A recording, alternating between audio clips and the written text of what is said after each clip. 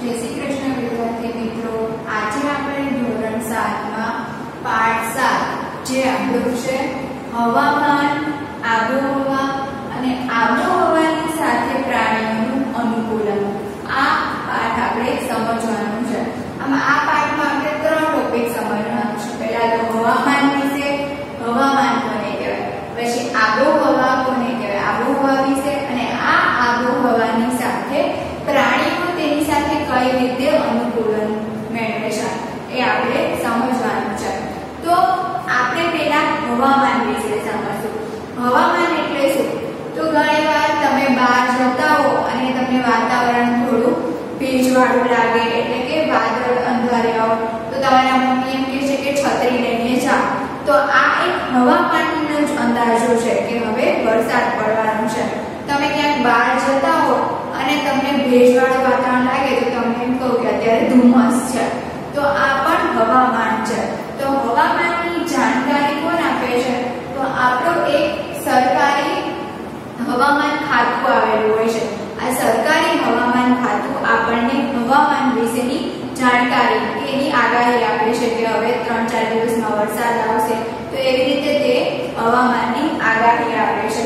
તો પહેલા આપણે પહેલો ટોપિક છે હવામાન હવામાન વિશે સમજવું તેને વેધર પણ કહેવામાં આવે છે. તો તમે સમાચારમાં પણ હવામાન વિશે સાંભળતા અત્યારે તો આઈપીએલ એવું ચાલે છે. તો ક્રિકેટમાં પણ પહેલા જે કોમેન્ટ્રી કરવા કે આવે તો તે હવામાનની જાણકારી આપે છે કે વાતાવરણ અત્યારે આવું છે, ભેજવાળું છે, વરસાદ આવવાનો છે, એવી રીતે જાણકારી આપે છે. તો આ હવામાન શું છે તે આપણે જાણીશું. દૈનિક સમાચારમાં પણ તમે છેલ્લા ચોવીસ કલાક થયેલ વરસાદ, તાપમાન અને ભેજ વિશેની માહિતી આપણને આપે છે. સમાચાર ચોવીસ કલાકમાં શું થયું? વરસાદ આવ્યો, ભેજ કે તાપમાન? એની આપણને માહિતી આપે છે. અત્યારે તમારા ફોનમાં પણ બતાવે છે કે તમારે આ તમારા એરિયામાં કે તમારા અમદાવાદમાં આટલા ડિગ્રી તમારું ટેમ્પરેચર છે. રાતનું ટેમ્પરેચર આટલા ડિગ્રી છે. ટેમ્પરેચર મતલબ તાપમાન. બપોરનું તાપમાન આટલું છે. એટલે કે વધારે તડકો છે. બતાવે છે ને? તો આ શું છે? એ હવામાન વળી તેના આજના દિવસના હવામાનની આગાહી પણ કરવામાં આવે છે. તમે જાણો છો કે હવામાં પાણીની વરાળના માપને ભેજ કહે છે. ભેજ કોને કહેવાય? તો હવામાં પાણીની વરાળના માપનને.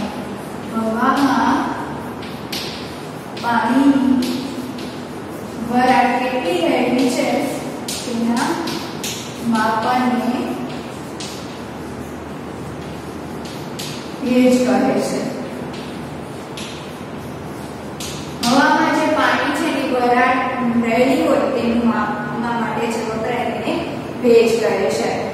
હવામાનના રિપોર્ટ કોણ કરે છે? તો સરકારનો હવામાન વિભાગ તૈયાર કરે છે. આ વિભાગ તાપમાન, પવનની ઝડપ, વગેરેના આંકડા મેળવી અને ભેગા કરી અને હવામાનનું અનુમાન કરે છે.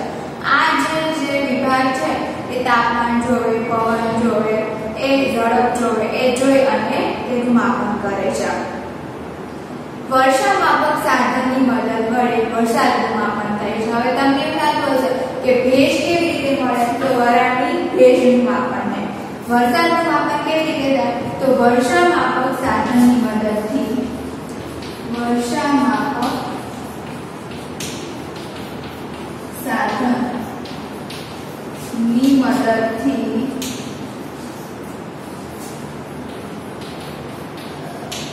વરસાદનું માપન થાય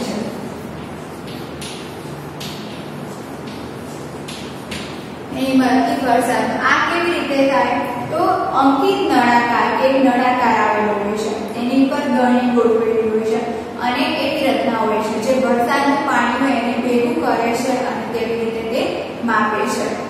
હવે તાપમાન પછી ભેજનું માપન વરસાદ પવનની ઝડપ વગેરેના સંદર્ભમાં કોઈ સ્થળના વાતાવરણની રોજબરોજ પરિસ્થિતિને તે સ્થળનું હવામાન કહે છે. હવામાન કોને કહેવાય? તો તાપમાન, બીજું છે ભેજનું પ્રમાણ. તાપમાન એ સ્થળનું કેવું છે? ભેજનું પ્રમાણ કેવું છે? વરસાદ કેવો છે? પવનની ઝડપ કેવી છે? વગેરેના સંદર્ભમાં કોઈ સ્થળના વાતાવરણ કે આ વગેરેના સંદર્ભમાં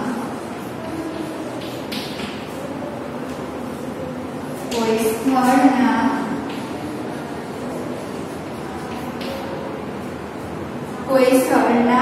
વાતાવરણની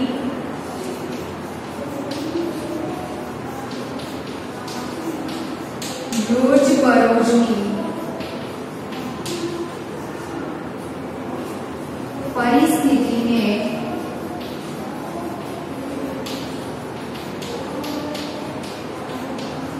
તે સ્થળનું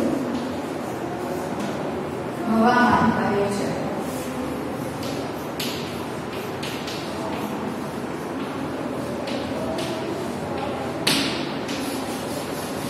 હવામાન કોને કહેવાય તો તાપમાન ભેજનું પ્રમાણ વરસાદ પવનની ઝડપ વગેરેના સંદર્ભમાં કોઈ જે સ્થળ છે તેના વાતાવરણમાં જે રોજબરોજની જે પરિસ્થિતિ છે તેને તે સ્થળનું હવામાન કહેવાય. હવામાન એટલે કે એ સ્થળનું તમને તાપમાન કે, એ સ્થળમાં ભેજનું પ્રમાણ કે, એ સ્થળમાં વરસાદનું પ્રમાણ કે, એ સ્થળમાં પવનની ઝડપ કે, એ જે રોજબરોજની તમને પરિસ્થિતિનું તમને આગાહી આપે કે પરિસ્થિતિનું જણાવે. તેને હવામાન કહેવામાં આવે છે.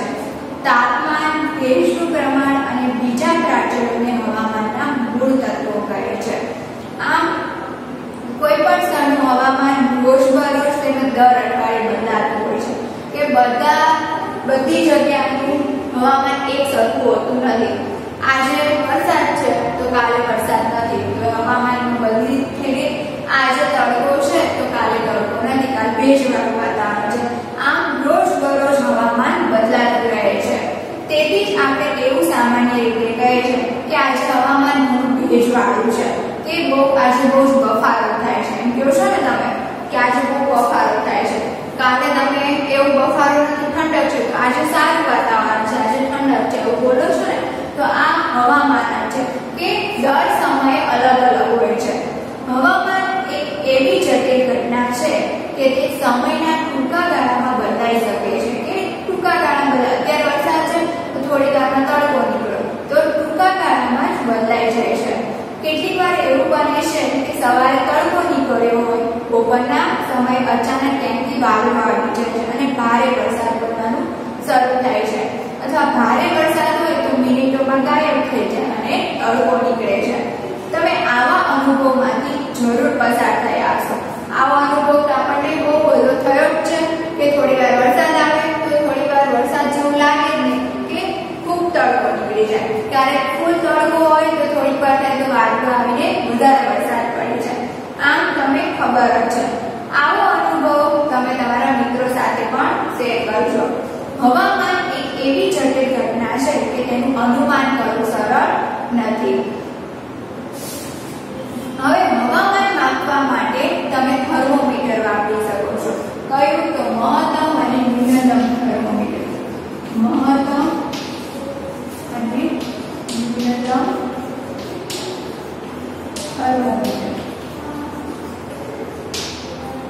મહત્તમ હવામાન માપવા માટે હવામાન માપવા માટે શું વપરાય તો હવામાન માપવા માટે મહત્તમ અને ન્યૂનતમ થર્મોમીટર આવેલું હોય છે. કે જે દિવસ દરમિયાન મહત્તમ તાપમાન મહત્તમ એટલે વધારે તાપમાન અને ન્યૂનતમ એટલે ઓછું તાપમાન બતાવે છે. સામાન્ય રીતે દિવસનું મહત્તમ તાપમાન બપોરના સમયે જ્યારે ન્યૂનતમ તાપમાન વહેલી સવારે હોય છે. ઉનાળામાં બપોરના સમયે આપણને અકળામણ થાય છે અને વહેલી સવારે આપણને સારું લાગે છે. શું કામ? કેમ કે બપોરના તડકો વધારે હોય છે અને સવારમાં તડકો હોતો નથી. હવે છે પૂરો થાય છે. હવામાન એટલે શું? તો તાપમાન, ભેજનું પ્રમાણ, વરસાદ, પવનની ઝડપ વગેરેના સંદર્ભમાં આપણે જે કોઈ પણ સ્થળ હોય ત્યારે તમને વાતાવરણની રોજબરોજની પરિસ્થિતિને તે સમૂહ હવામાન કહે છે.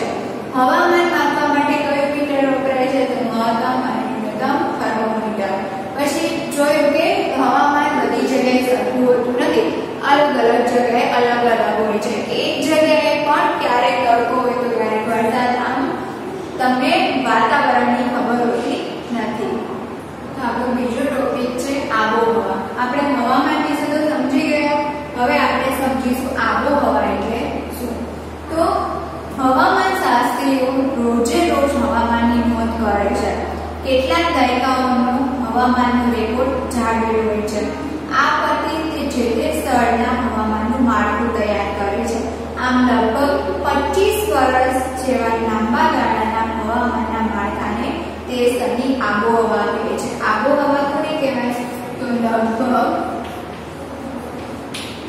પચીસ જેટલા વર્ષ કે લગભગ પચીસ વર્ષ જેવા લાંબા ગાળાના હવામાનના માળખાને કે લગભગ પચીસ જેટલા વર્ષના લાંબા ગાળાના હવામાનના માળખાને તે સ્થળની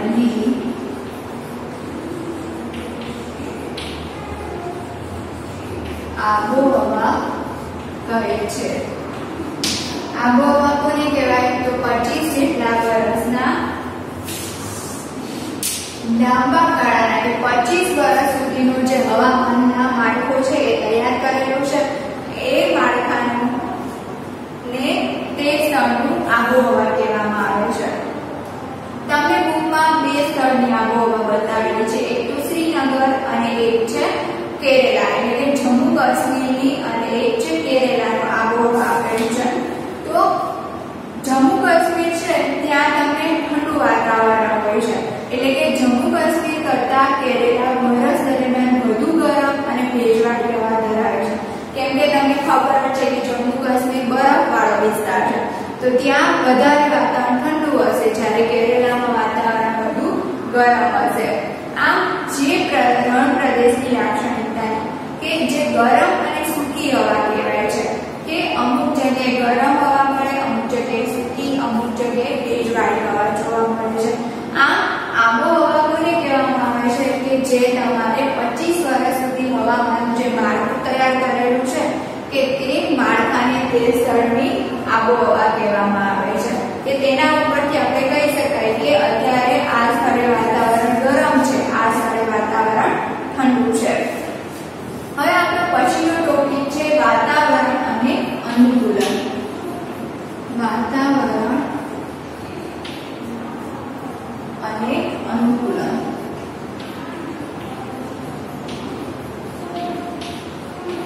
અનુકૂલન એટલે શું તો એ જગ્યાએ જે રહેતા પ્રાણીઓ છે તે તો પ્રાણીઓ જે પરિસ્થિતિમાં રહેતા હોય તેમાં જીવિત રહેવા માટે તેઓ અનુકૂલન સાધે છે કે જે જગ્યાએ રહેતા હોય ઠંડી વાળી જગ્યાએ રહેતા હોય તો એ પ્રમાણે મેળવે છે. જેમ કે આપણે છે, આપણે અત્યારે ઠંડી વાળી જગ્યાએ કે મનાલી કે ત્યાં જાય, તો ત્યાં વધારે બરફ પડે છે. તો આપણે એ પ્રમાણે કપડાં લઈએ કે આપણે જેકેટ લઈને જાય, સ્વેટર લઈને જાય, ત્યાં આપણે અહીં રહે છે, તે રીતે તો રહેવાના નથી. તો એના માટે આપણે અનુકૂલન સાધીએ છીએ કે આપણે તે પરિસ્થિતિમાં રહેવા માટે અનુકૂલન સાધીએ છીએ કે ત્યાં તે રીતે રહેવા માટે. જો આપણે ત્યાં સ્વેટર, જેકેટ ન લઈ જાય તો આપણી પરિસ્થિતિ ખરાબ થઈ જાય અને આપણે કદાચ બીમાર પડી જાય. તો એના કરતાં આપણે એ પરિસ્થિતિ પ્રમાણે જીવીએ છીએ. આમ પ્રાણીઓ બીજા જેવા કે રીંછ છે, કે જે અલગ અલગ જગ્યાએ રહેતા હોય, માછલી અલગ અલગ જગ્યાએ રહેતી હોય, તો એ એ પરિસ્થિતિ માટે તે પોતાની રીતે અનુકૂલન સાધે છે. હવે આપણે જોઈએ કે ધ્રુવ પ્રદેશોમાં પ્રાણીઓ કે જે રહે છે, તે કેવી રીતે અનુકૂલન સાધે છે. પેલું છે તેમાં ધ્રુવ પ્રદેશો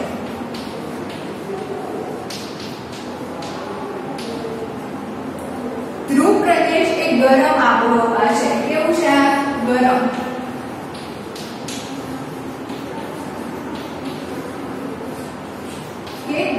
આબોહવા ધરાવતો પ્રદેશ છે આ પ્રદેશ બરફ આચ્છાદિત હોય છે અને ત્યાં વર્ષના મોટા ભાગના સમયગાળામાં ખૂબ જ ઠંડી પડે છે આ બરફ આચ્છાદિત વિસ્તાર છે કેવો છે તો આ વિસ્તાર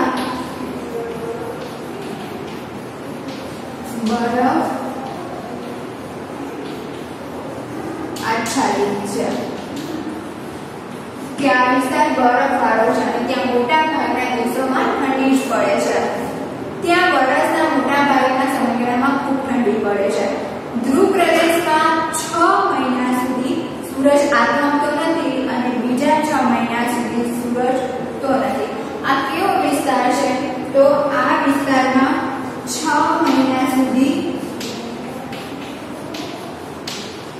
સૂરજ કે પેલા જે છ મહિના છે ત્યાં સુધી સૂરજ આથમતો નથી અને પછીના છ મહિના સુધી સૂરજ ઉગતો નથી આ કેવો વિસ્તાર છે મહિના સુધી સૂરજ આથમતો નથી અને છ મહિના સુધી ઉગતો નથી. અને શિયાળાની ઋતુમાં તેનું તાપમાન માઇનસ સાડત્રીસ ડિગ્રી જેટલું નીચું હોય છે. તાપમાન કેટલું હોય છે? શિયાળાની ઋતુમાં તેનું તાપમાન માઇનસ સાડત્રીસ ડિગ્રી સેલ્સિયસ હોય છે. અત્યારે આપણું તાપમાન એનું પ્લસ સાડત્રીસ વધારે હોય છે તડકામાં માઇનસ સાડત્રીસ એટલે ખૂબ જ ઠંડી ત્યાં જોવા મળે છે. ધ્રુવીય રીંછ અને ટેનની ઉદાહરણ વડે આપણે તેઓનું અનુકૂલન જોઈ શકીએ. આ જગ્યાએ કયા કયા પ્રાણીઓ રહે છે? તો આ જગ્યાએ ધ્રુવીય રીંછ તથા પેંગ્વિન જેવા પ્રાણીઓ છે એ ધ્રુવીય પ્રદેશોમાં અનુકૂલન સાધે છે એટલે કે ત્યાં રહે છે. ધ્રુવીય પ્રદેશો કેવું છે? તો ધ્રુવીય પ્રદેશ છે એ ખૂબ જ ગરમ આબોહવા ધરાવતું પ્રદેશ છે. ત્યાં આ વિસ્તારમાં ખૂબ જ બરફ હોય છે. બરફ આચ્છાદિત વિસ્તાર છે. અહીંયા આ વિસ્તારમાં ખૂબ જ ઠંડી પડે છે. પછી અહીંયા છ મહિના સુધી સૂરજ આથમતો નથી અને પછીના છ મહિના સુધી સૂરજ ઉગતો નથી. અને શિયાળાની ઋતુમાં તેનું તાપમાન છે માઇનસ સાડત્રીસ ડિગ્રી સેલ્સિયસ હોય છે. અહીં કયા કયા પ્રાણીઓ રહે છે તો ધ્રુવીય રીંછ અને પેન્ગ્વિન જેવા પ્રાણીઓ અહીં ધ્રુવીય પ્રદેશોમાં રહે છે. હવે ધ્રુવીય રીંછ છે એ પોતાના શરીર પર સફેદ વાળ ધરાવે છે. માટે તે બરફની સફેદ પૃષ્ઠભૂમિમાં સહેલાઈથી નજરે પડતું નથી. કે એની આજુબાજુ સફેદ કલરના માપ છે. એટલે તમને બરફ એ સફેદ છે તો તમને તે વધારે દેખાતું નથી. અને આ તેને બચાય છે અને શિકારીથી બચી જાય છે કેમ કે એના વાળ સફેદ છે અને બરફ સફેદ છે. તેના શરીર પર ઠંડીથી રક્ષણ માટે વાળની સપાટ ભુવાડીના બે જાડા સ્તર આવેલા છે. કે હવે આપણું નોર્મલ રીંગ તો ત્યાં રહી ના શકે. ધ્રુવીય રીંગ એટલે કે સફેદ કલરની રૂવાટી અને રૂવાટીના બે જાડા સ્તર આવેલા કે જેનાથી તે આ માઇનસ સાડત્રીસ ડિગ્રી સેલ્સિયસ તાપમાનમાં પણ તે ત્યાં રહી શકે છે. વળી તેના શરીરમાં ચામડીની નીચેના ભાગમાં ચરબીનું સ્તર હોય છે, કે નીચે ચરબી હોય છે. વાસ્તવમાં તે ધીમી ગતિ કરે છે તે ધીમે ચાલે છે અને વારંવાર આરામ કરીને પોતાનું તાપમાન વધી ન જાય તે માટે પ્રયત્ન કરીને સારી રીતે ઠંડીથી પોતાની જાતને અલગ રાખે છે એટલે કે તે પ્રયત્ન કરી અને પોતાની જાતને ઠંડીથી બચાવવા માટે તે ધીમે ધીમે ચાલે છે અને તેને બે જાડું સ્તર છે અને ચરબીના લીધે તે ઠંડીથી રક્ષણ મેળવે છે. ગરમીના હુંફાળા દિવસોમાં તેની શારીરિક પ્રવૃત્તિઓને લીધે તેને ઠંડકની આવશ્યકતા ઊભી થાય છે. આથી તે પાણીમાં તરવાનું ચાલુ કરે છે. પાણીમાં તરે છે તેને ઠંડક મળે તે સારું કરી શકે છે. તેના પંજા મોટા અને કોરા હોય છે. તેને કારણે તેને માત્ર તરવા માટે નહીં, પરંતુ બરફમાં ચાલવા માટે પણ ઉપયોગી છે. પાણીમાં તરતી વખતે તેના નસકોરાને બંધ કરી અને પાણીની અંદર લાંબો સમય સુધી રહી શકે છે. તેની ઘ્રાણેન્દ્રિય એટલે કે સૂંઘવાની શક્તિ ઘણી પ્રબળ છે. તેથી તે ખોરાક માટે શિકાર કરી શકે છે. ધ્રુવીય રીંછ કેવું છે? તો તેના પર સફેદ રૂવાટી છે. રૂવાટીના બે સ્તર છે અને જાડી ચરબી આવેલી છે. પછી એ તો શિયાળામાં એને ઠંડીથી રક્ષણ મળ્યું, પણ ત્યાં ગરમી એટલી પડે છે. તો ગરમીમાં એ શું કરે છે? તે પાણીમાં તરવાનું પસંદ કરે છે. તેના હાથ પોળા છે અને પંજા પણ સારા છે, મોટા છે. એટલા માટે તે તરી શકે છે. અને આ તરવા માટે નહીં, પરંતુ તેને બરફમાં ચાલવા માટે પણ મદદ કરે છે. તથા તેની ઘાણેન્દ્રિય એટલે કે સૂંઘવાની શક્તિ પણ બહુ સારી છે, એટલે તે શિકાર પણ જલ્દી મેળવી શકે છે. આ થઈ ગયું આપણે ધ્રુવીય રીંછ. હવે આપણે જોઈશું પેંગ્વિન કે પેંગ્વિન કેવું છે? તો પેંગ્વિન છે એ સફેદ રંગનું છે અને સફેદ પૃષ્ઠભૂમિ માટે પણ ભળી જાય છે. તેના શરીર પર જાડી ચામડી અને ખૂબ જ ચરબી છે, જે તેને ઠંડીમાં રક્ષણ આપે છે. પેંગ્વિન એકબીજા એકદમ પાસ પાસે ફ્લિપ કરીને અને ટોળામાં ઉભેલા હોય છે. તમે જોયું હશે ને પેંગ્વિનનું ચિત્ર? ટીવીમાં જોયું હશે કે કોઈની બુકમાં પણ પેજમાં આપેલું હોય છે. તો પેંગ્વિન એકબીજાને ટોળામાં ચોટી જોડીને ઊભા હોય છે. સફેદ કલરના પણ હોય છે. એટલે તમને બરફમાં દેખાય નહીં. જ્યારે માણસો વડે ગીચોગીચ ભરાયેલા હોલમાં હો છો, ત્યારે તમે કેવી અનુભવ કરો છો તેવી રીતે આ પેંગ્વિન તેમ ઊભું હોય છે. હવે આપણે જોઈ લીધું કે ધ્રુવીય પ્રદેશોમાં આવે પ્રાણી કેવી રીતે રહે છે પણ ધ્રુવીય પ્રદેશોમાં બીજા પ્રાણી જેમ કે માછલી કસ્તુરી બળદ શિયાળ વેગ વગેરે પણ રહે છે. જ્યારે શિયાળો શરૂ થાય ત્યારે તેઓ હુંફાળા પ્રદેશમાં સ્થળાંતર કરે છે અને પૂર્ણ થાય ત્યારે તે પાછા આવી જાય છે માછલી તો તરીને જતી રહે એટલે કે જ્યારે શિયાળો આવે ત્યારે તે બીજા પ્રદેશમાં જતી રહે અને પૂરો થાય ત્યારે પાછા આવી જાય છે તો અહીં આપણે ધ્રુવીય પ્રદેશ જોયા હવે આપણે જોઈશું વિષુવવૃત્તીય વર્ષગણો હવે આપણે જોઈશું વિષુવવૃત્તીય વર્ષાવરણ તો વિષુવવૃત્તિ નજીકના ભાગમાં હોવાને કારણે તેને વિષુવવૃત્તીય વર્ષાવરણ કહે છે વિષુવવૃત્તિ એટલે તમારે સમાજ વિદ્યામાં આવી ગયું છે વિષુવવૃત્તિ એટલે કે જે એની બાજુના જે પ્રદેશો આવેલા છે તેને વિષુવવૃત્તીય વર્ષાવરણ કહેવામાં આવે છે તો તેની આબોહવા સામાન્ય રીતે ગરમ હોય છે આ પ્રદેશની આ પ્રદેશની આબોહવા ગરમ હોય છે. કેવી હોય છે ત્યાંની આબોહવા? ગરમ હોય છે. ઠંડકના મહિનાઓમાં પણ તેનું સામાન્ય તાપમાન પંદર ડિગ્રી કરતાં વધુ હોય છે. કે ઠંડક હોય ત્યારે પણ ઠંડકના સમયમાં તેનું તાપમાન પંદર ડિગ્રીથી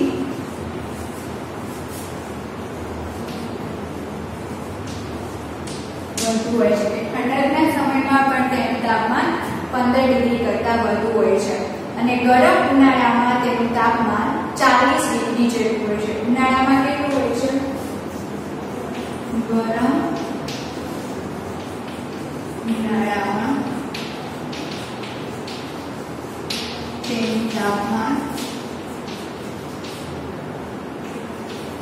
ચાલીસ ડિગ્રી સેલ્સિયસથી વધુ હોય છે એટલે કે ત્યાં ખૂબ જ ગરમી હોય છે ચાલીસ એટલે બહુ વધારે તાપમાન કહેવાય સમગ્ર વર્ષ દરમિયાન દિવસ અને રાત્રિનો સમયગાળો લગભગ સમાન જ હોય છે આ પ્રદેશમાં ખૂબ જ ભારે વરસાદ અનુભવે છે કયા કયા વિસ્તારો તો પશ્ચિમ ઘાટ આપણે ભારતમાં, દક્ષિણ એશિયા, મધ્ય અમેરિકા, મધ્ય આફ્રિકા એ બધા વિષુવવૃત્તવાળા વિસ્તારો છે. તો અહીં કયા કયા જીવો છે? તો અહીં વાનરો, પછી બે પગે ચાલનારા વાનરો, ગોરીલાઓ, વાઘ, હાથી, દીપડા, ગરોળી તેમજ સાપ જેવા પ્રાણીઓ અહીં જોવા મળે છે.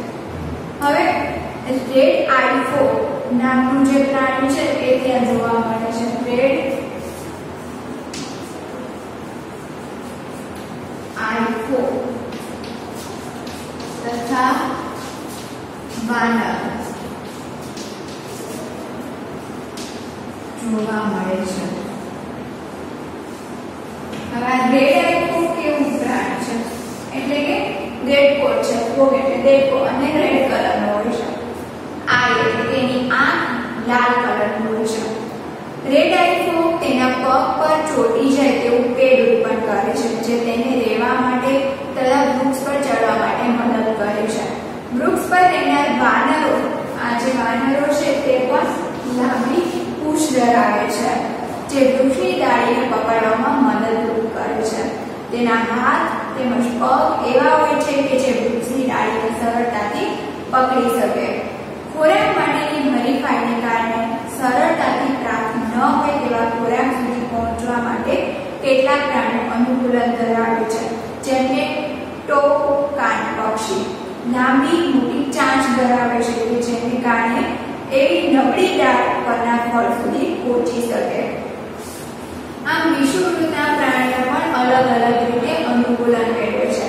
પછી ઉદાહરણ તરીકે મોટી બિલાડી એ જાડી ચામડી તેમજ સંવેદનશીલ ધ્વનિ પરત ધરાવે છે. સિંહ જેવી પૂંછડી ધરાવનાર વાનર પશ્ચિમ ઘાટના વર્ષાવનમાં રહે છે કે જે તેના માથા પર ગાલથી દાઢી સુધી રૂપેલી સફેદ કેશવાળી ચાંપ ધરાવે છે. તે ઝડપથી ઊંચે ચડી શકે છે અને પોતાના જીવનનો મોટો ભાગનો સમય આ જે વાનરો છે એ વૃક્ષ પર પસાર કરે છે. આ વિષુવવૃત્તીય વર્ષાવન એટલે શું? કે જે વિષુવૃત્તિ આજુબાજુ આવેલા પ્રદેશોને વિષુવવૃત્તીય વર્ષાવનો કહે છે એમાં કયા તો ભારતનો પશ્ચિમ ઘાટ છે, આફ્રિકા, દક્ષિણ આફ્રિકા છે, એ બધા વિષુવવૃત્તીય પ્રદેશો છે. તેના લક્ષણ શું છે? તો તેની આબોહવા મોટે ભાગે ગરમ હોય છે. ઠંડકના સમયમાં તેનું તાપમાન પંદર ડિગ્રીથી વધુ હોય છે. જ્યારે ગરમા, ગરમી ઉનાળો હોય ત્યારે તેનું તાપમાન ચાલીસ ડિગ્રી હોય છે. ઠંડકમાં પંદર ડિગ્રી. અહીં કયા કયા મોસ્ટ ઓફ જોવા મળે છે? જે છે રેડાઈ અને વાનરો આમ અહીં આપણો આ પાઠ પૂરો થાય છે. આ પાઠમાં આપણે શું ગયે જોઈ ગયા? તો પહેલા હવામાન વિશે જોઈ ગયા. હવામાન કોને કહેવાય? તો તાપમાન, પછી ભેજનું પ્રમાણ, વરસાદ અને પવનની ઝડપ. વગેરેના સંદર્ભમાં કોઈ સ્થળના વાતાવરણની જે પરિસ્થિતિ છે, તેને તે સ્થળનું હવામાન કહેવામાં આવે છે. આપણે જોઈ ગયા કે એક દિવસનું હવામાન, એક દિવસ બીજા દિવસનું સરખું હોતું નથી. એક અઠવાડિયું અને બીજા અઠવાડિયાનું પણ હવામાન સરખું હોતું નથી. હવામાન અલગ અલગ હોય છે. દિવસના ભાગમાં બપોર, પછીનું તાપમાન મહત્તમ હોય છે, જ્યારે સવારે તાપમાન ન્યૂનતમ હોય છે. પછી આપણે જોઈ ગયા આબોહવા. આબોહવા કોને કહેવાય? કે લગભગ પચીસ જેટલા વર્ષના લાંબા સમયગાળામાં મળતા હવામાનનું જે માળખું છે તેને આબોહવા કહે છે. પછી ધ્રુવ પ્રદેશ અને વિષુવૃત્તીય પ્રદેશમાં જોવા મળતી જે પરિસ્થિતિ છે એ આપણે જોઈ. ધ્રુવ પ્રદેશમાં વસતા પ્રાણીઓ જેવા કે ધ્રુવીય રીંછ અને પેંગ્વિન, એ લોકો ધ્રુવ પ્રદેશમાં રહે છે. તે તાપમાન શિયાળામાં માઇનસ સાડત્રીસ ડિગ્રી હોય છે. છ મહિના પહેલા, છ મહિના સુધી સૂરજ દેખાતો નથી અને છ મહિના પછી સૂરજ આથમતો નથી. એટલે આપણને બહુ ઠંડી જોવા મળે છે. પછી આપણે જોયું વિષુવૃત્તીય પ્રદેશ કે આ ખૂબ જ ગરમ પ્રદેશ છે. ત્યાં રેડફો રેડાઈફો અને વાનરો જેવા પ્રાણીઓ જોવા મળે છે. આમ આપણો આ પાઠ પૂરો થાય છે. આ વીડિયો તમે વારંવાર જોજો તથા શેર કરજો.